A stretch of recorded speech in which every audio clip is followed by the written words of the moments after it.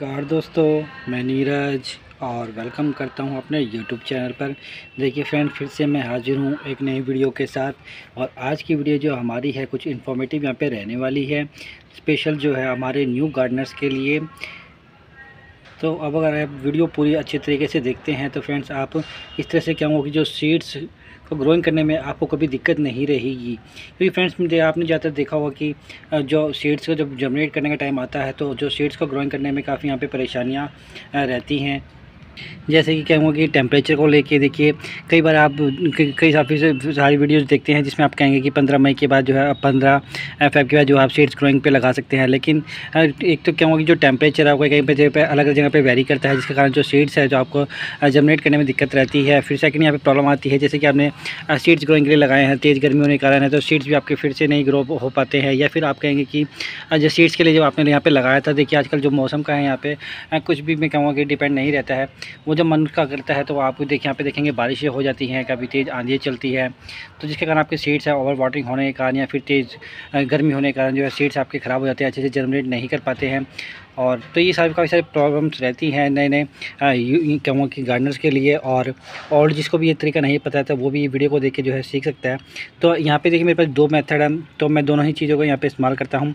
लेकिन आपका जो मेरे पास जो बेस्ट मेथड है सबसे, वो मैं आप, आपको बताऊँगा था कि उससे जो आप, मैं कहूँ कि आप समर्स में भी सीड्स अच्छे से ग्रो कर पाएँगे और अगर आप विंटर्स में भी सीड्स ग्रो करना चाहेंगे तो विंटर्स में भी उससे सीड आप अच्छे से ग्रो कर पाएँगे, क्योंकि विंटर्स में भी आप देखते हैं फ्रेंड्स क्या कि जो टेम्परेचर की मार रहती है, वो यानी कि आप देखते हैं कि वहाँ पे सर्दियाँ बढ़ जाती है, ठंड पड़ जाती है तो सीड्स को भी जनरेट होने में यहाँ पे काफ़ी मुश्किलें आती हैं। तो वो भी आपको चीज़ मैं बताऊँगा कि उसमें ये जो मेथड आप सीख लेंगे तो उसमें जो आप सीड्स हैं, वो भी आप अच्छे से कहूँगा एनी टाइम जब आप ग्रो करना चाहेंगे तो ग्रो कर पाएँगे। तो दोस्तों, जैसे कि आप देख सकते हैं कि जो मुझे सीड जर्मिनेट करना है, यानी आपको जो भी यहाँ सीड लगाने हैं, वो आप इस तरह से ज़रूर से, पहले कहूँगा कि आप पानी में इस तरह से आप भिगो के रख लीजिए एक रात या फिर क्या एक दिन जो आप इसको कम से कम इस तरह से पानी में रखिए ताकि ये जो आपका सीड है क्या जो पानी में इस तरह से भिगे रहने का क्या होगा, क्या इसके जो सीड है यहाँ पे ये फूल जाएगा और इसका जो क्या हुआ जो टाइम है यहाँ पे जनरेट होने का वो यहाँ पे कम हो जाएगा। तो आपके जो सीड्स है बड़ी जल्दी से यहाँ पे जनरेट होंगे। तो आपको इस तरह से पानी में पहले ये कुछ सीड्स है इस तरह से जो आपको लगाने हैं वो आपको पानी में भिगो लेने चाहिए। और देखिए इस तरह से आप ये मैंने जो है नॉर्मल पानी में लगाए हैं। तो वैसे आप देख सकते हैं जो सीड्स है मेरे कलरफुल है, यानी कि ये क्योंकि फुली ट्रीटेड है ये। तो इस पर किसी प्रकार के जो सीड्स है किसी प्रकार का जो जैसे कि आप सीड्स देख रहे हैं, मेरे कलरफुल है, यानी कि जो क्योंकि मेरे फुली ट्रीटेड सीड्स है। इन पर जो है किसी प्रकार का फंगस वगैरह जो है, नहीं है। वो इन पर पहले से ही जो पाउडर लगा हुआ है, यानी कि तो आप देखिए इस तरह से कुछ क्या होंगे सीड्स आपके जो मैं बाई करते हैं तो वो इस तरह से आपके ऊपर नहीं मिलेंगे, जो केमिकल ट्रीटेड नहीं रहते हैं। तो उनके लिए देखिए आप इसमें अगर मैं कहूँ कि आप इसमें पानी में जब भिगोते हैं तो इसमें फंगीसाइड पाउडर ऐड कर देंगे तो आपके जो सीड्स है यहाँ पे वो फुली ट्रीटेड हो जाएँगे तो आपको इस तरह से यूज़ करने चाहिए। तो यहाँ पे देखिए मैंने काफ़ी सारे सीड्स इस तरह से लिए हैं तो इसमें मेरा टिंडा घिया, कद्दू, करेला, चप्पल कद्दू, भिंडी और काफ़ी सारे जो सीड्स हैं मैंने इस तरह से इसमें पानी भिगो के रखे हैं, तोरी तो इसको मैंने यहाँ पे रखे हैं। देखिए जर्मिनेट आप इनको क्या और ईजी मेथड बनाने के लिए आपको क्या करना है तो देखिए, यहाँ पे जो है आपको एक, क्या प्लास्टिक के कंटेनर की आवश्यकता पड़ने वाली है, जो कि मैंने यहाँ पे लिया है। और बताऊँगा कि इसका क्या बेनिफिट यहाँ पे रहता है। और देखिए, और दूसरा मैंने यहाँ पे लिया है, इस तरह से जो है, क्या टिशू पेपर्स ये टिशू पेपर आपको इधर से मिल जाते हैं, काफ़ी महँगे भी नहीं आते हैं तो इस तरह से आप जो है, इसको बाई कर सकते हैं। और देखिए, इसको यहाँ पे क्या हुआ कि दो जो आपको कम से कम टिशू पेपर जो नीचे की तरफ़ है, वो थोड़ा मोटा यहाँ पे आपको बना लेना है, इस तरीके से। तो यहाँ पे देखिए, दो टिश्यू पेपर है जो मैंने इस तरह से नीचे यहाँ पे लगा दिए हैं। और आपको करना क्या है कि फ्रेंड्स यहाँ पे इसके बाद आप देखेंगे कि मैंने यहाँ पे जो लिया है, एक टिश्यू पेपर और डाल देते हैं हम यहाँ पे। तो देखिए, अब इसके बाद जो मैंने यहाँ पे जो करने वाली है तो यहाँ पे यहाँ लिया मैंने वाटर जो कि आप देख सकते हैं कि मैंने इसमें साफ़ फंगीसाइड पाउडर ऐड किया है, ताकि इसमें जो हम शेड जर्मिनेट करेंगे तो जो है यहाँ पे फंगस वगैरह अटैक का शिकार नहीं होंगे, और जो हमारा जब बीज उगेगा तो वो स्वस्थ यहाँ पे होगा।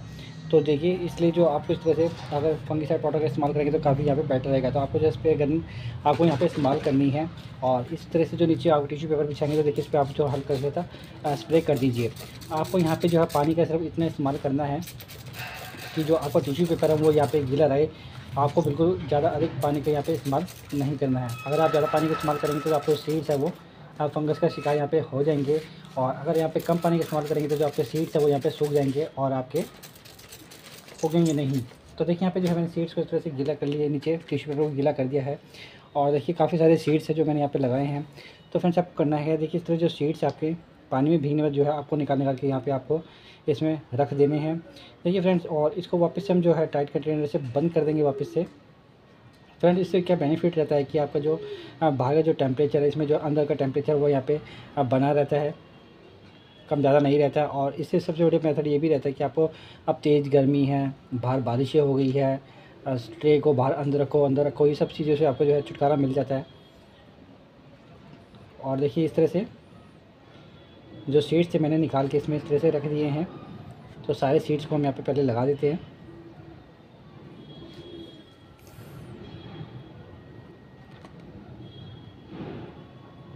तो देखिए दोस्तों, यहाँ पे जो है मैंने दो कंटेनर लिए हैं, क्योंकि सीड्स मेरे काफ़ी सारे थे। तो यहाँ पे देखिए मैंने कुछ भिंडी के बीड्स भी लिए हैं कुछ फ्रूट के प्लांट्स के सीड्स भी लिए हैं, और भी बहुत सारे जो है, काफ़ी सारे इसमें जो है, आठ से दस तरह के जो सीड्स है वो मैंने इसमें लगाए हैं। देखिए, आपको जो इस तरह से सीड्स लगा लेंगे तो आपको क्या है कि वापस से जो है, एक और जो है, आप ऊपर से इसको हल्का सा आप कवर कर दीजिए, इस तरीके से। और कवर करने के बाद देखिए, दोनों मैंने यहाँ पे कवर कर दिए। ताकि जो आपके सीट्स है उसमें हिलेंगे, डुलेंगे नहीं। ऊपर से इस तरह से आप कवर कर दीजिए। और फिर फ्रेंड से जो है, आप ऊपर से एक बार हल्का सा और स्प्रे आप इस पर कर दें। ज़्यादा स्प्रे बिल्कुल भी ना करें। आपको मैं पहले कह रहा हूँ, अगर ज़्यादा स्प्रे करते हैं तो आपके सीट्स है, वो ख़राब हो जाएँगे। क्योंकि इसमें हम जो है टाइट एयर कंटेनर करने वाले हैं, ताकि इसमें जो मॉइस्चर लेवल है, वो यहाँ पे अब बना रहेगा। तो देखिए, इस तरह से जो है, मैंने दोनों ही बंद कर दिए हैं। और जो आज, देखिए जो आज तारीख है, आज है क्या हुआ, बारह मार्च, यानी कि 2024 और इस तरह से दो कंट्रे मैंने यहाँ पे रेडी किए हैं तो आप इस तरह से जो सीड्स लगा सकते हैं। और देखिए, अब जो है इनको कहाँ पे आपको रखना है तो आप जाओ तो ऐसे डायरेक्ट बॉक्स जो है आप शेड एरिया में रख दीजिए। वहाँ पे भी बेटर है, और जल्दी से और ग्रो करने के लिए एक तरीका आप और भी अपना सकते हैं, जो कि आपको मैं भी दिखाऊँगा। तो देखिए, जैसे कि आप जो सामने कट्टा देख रहे हैं, वो मेरे न्यू प्लांट्स की मिट्टी है। और देखिए यहाँ पे जो मैंने खड्डा बना लिया है तो देखिए हमारे दोनों ही जो बॉक्स है, इसमें मैं कहूँगा कि दोनों ही बॉक्स में इस तरह से मिट्टी में दबा दूँगा और मिट्टी से कवर कर दूँगा।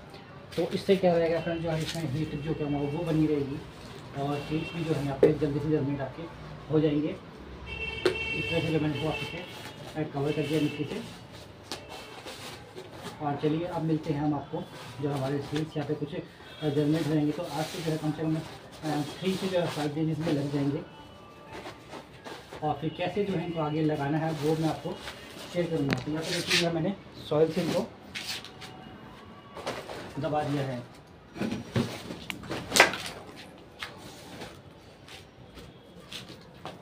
तो देखिए, मिलते हैं अब जो है फाइव डेज़ के बाद जो हमारे सीड्स यहाँ पे जर्मिनेट हो जाएँगे। देखिए आज जो है तीन से चार दिन यहाँ पे हो चुके हैं तो आज जो हम अपने सीड है वो यहाँ पे चेक करने वाले हैं। तो यहाँ से जो है मैं अपनी आ, कुछ सीड्स जो मैंने यहाँ पे लगाए थे वो भी मेरे यहाँ पे जर्मिनेट हो गए देखिए इस तरह से। तो देखिए यहाँ पे जो दोनों बॉक्स थे दोनों ही हम यहाँ पे बाहर निकालेंगे और आप इनका रिज़ल्ट है वो देख पाएँगे। और एक और बॉक्स अपने जो था वो भी सॉल में यहाँ पे दबाया था। देखिए, दोनों बॉक्स तो मैंने इस तरह से निकाल लिए हैं। तो चलिए इनको जो हम ओपन करते हैं और चेक करते हैं कि जो हमारे सीड है यहाँ पे जर्मिनेट हुए हैं कि नहीं। तो फ्रेंड देखिए, आप इस तरह से जब सीड लगाएँगे तो आप जो है तीन से चार दिन में एक बार चेक कर लीजिए। अगर आप इस तरह से चेक नहीं करते हैं और लंबा यहाँ पे टाइम हो जाएँगे तो आपकी जो सीडलिंग है वो यहाँ पे बेकार हो जाएगी। वो जो है ग्लैगी टाइप की बन जाएगी। क्योंकि फ्रेंड्स जो है सनलाइट नहीं मिलेगी तो सनलाइट बहुत ही ज़रूरी है। ऐसे जर्मिनेट होने के बाद। तो चलिए हम जल्दी से चेक कर लेते हैं। तो देखिए फ्रेंड्स यहाँ पे जो है मैंने अपनी कोकोपीट मैंने यहाँ पे रेडी कर लिया सीट लगाने के लिए क्योंकि ऐसा तो पक्का ही है जो मेरे कुछ तो सीट यहाँ पे जो है जर्मिनेट हो गए होंगे क्योंकि प्रोसेस बहुत ही फास्ट यहाँ पे रहता है और ज़्यादातर जो है मैं इसी का यहाँ पे इस्तेमाल करता हूँ तो इसलिए जो है मैंने अपना कोकोपीट यहाँ पे रेडी कर लिया इसमें जो है मैंने सिर्फ़ कोकोपीट और बर्मी का पोस्ट यहाँ मैंने मिलाया है और बाकी यहाँ पे चले सीट्स हम यहाँ पे देख लेते हैं देखिए जो पहला बॉक्स अपना यहाँ पे ओपन करता हूँ तो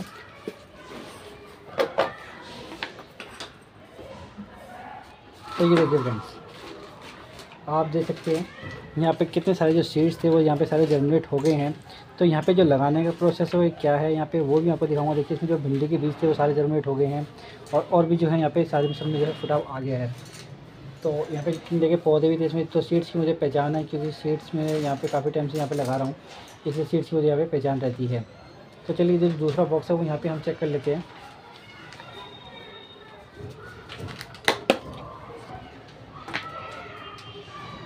तो देखिए दोस्तों, इसमें जो है मोस्टली जो सीड्स देखेंगे वो यहाँ पे जनरेट हो चुके हैं। तो इनका जो लगाने का प्रोसेस है वो क्या यहाँ पे रहने वाला है देखिए। तो ये जो सारे सीड्स है तो यहाँ पे हम लगा देंगे। तो इसके लिए देखिए यहाँ पे जो है आप डायरेक्ट इस तरह से क्या कि आप जो सॉइल में या जो है आप जहाँ पे पॉट लगाना चाहते हैं वहाँ पे लगा सकते हैं या फिर जो आप छोटे छोटे ग्रो बैग रहते हैं पॉली बैग जो रहते हैं उनमें लगाना चाहते हैं उनमें भी लगा सकते हैं। तो लेकिन मैं जो है फ़िलहाल अभी सीडलिंग ट्रे में इनको लगाऊँगा और सीडलिंग ट्रे के बाद जो है बाकी फिर इनको मैं ट्रांसप्लांट करूँगा। तो देखिए यहाँ पे जो है मैंने सीलिंग ट्रे यहाँ पे ले ली है। और देखिए यहाँ पे एक ही बार में क्या हूँ कि सारे जो सीड्स है, मैं यहाँ पे जनरेट कर पाऊँगा तो जिससे आप सीलिंग ट्रे का ही यहाँ पे इस्तेमाल कीजिए। और देखिए जो कोकोपीट है, मैंने यहाँ पे रेडी रखा है तो कोकोपीट में जो मेरी नमी है तो पहले इस तरह से हम जो ट्रे है थोड़ी थोड़ी जो सॉइल इसमें है, इस तरह से सॉइल या फिर जो है कोकोपीट यहाँ पे फिल कर लेते हैं तो मैं कोकोपीट का ही इस्तेमाल करता हूँ, ताकि इसमें जो है मॉइस्चर लेवल बना रहता है तो आपके सीड्स है, वो यहाँ पे अच्छे से ग्रो हो जाएँगे।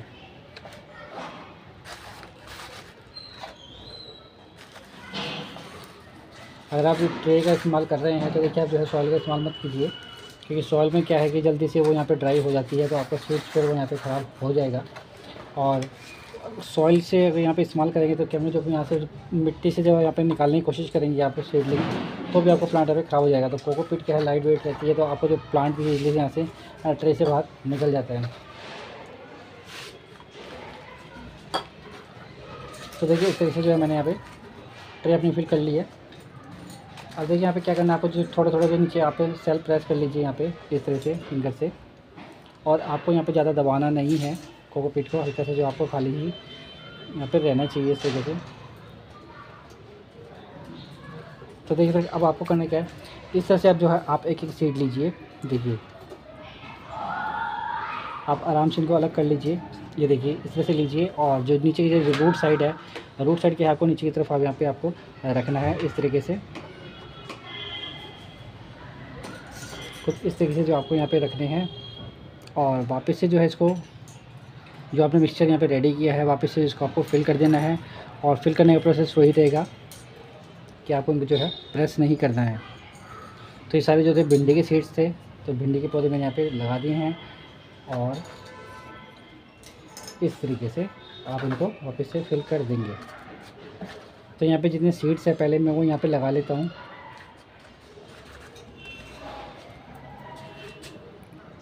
तो देखिए इनमें जो मैंने सारे सीट इस तरह से रख दिए हैं और बाद में चाहो तो आप देखिए इनको जो है टैगिंग कर लीजिए ताकि आपको पता चल जाएगा कि कौन सा प्लांट आपने कौन सा सीड्स उसमें लगाया है। तो यहाँ तो मुझे क्या है कि पहचान है सबकी प्लांट की तो मुझे तो पता चल जाएगा। तो अगर आप टैगिंग करना चाहें तो कर सकते हैं। और देखिए आपको करना है क्या फ्रेंड्स जो सीड्स यहाँ पे आपके जर्मिनेट हुए हैं नहीं हुए हैं बॉक्स के अंदर आपको फिर से जो है आप, आप हल्का सा जो है फिर से आप पानी का जो है स्प्रे करके आप उसको जो है सॉइल में फिर से दबा दीजिए। तो आपके जो सीड्स है जल्दी से यहाँ पर जर्मिनेट हो जाएँगे। ये हमने इस पर कोकोपीट था, वापस से डाल दिया है और इसमें हम कर देंगे पानी का स्प्रे।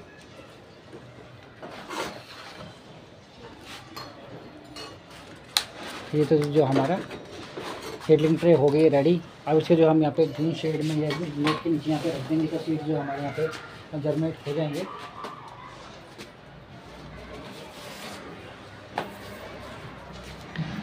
तो इस तरह से जो आप यहाँ पे सीडलिंग कर सकते हैं फ्रेंड्स तो उम्मीद है आपको जो मेरे द्वारा जो आज की जो जानकारी है या वीडियो है, आपको अच्छी लगी होगी आइडिया पसंद आया होगा. अगर आपको मेरे द्वारा जो जानकारी आइडिया पसंद आया तो प्लीज़ मेरे वीडियो को लाइक और शेयर कीजिए. धन्यवाद, मिलते हैं नेक्स्ट वीडियो में किसी नई जानकारी के साथ.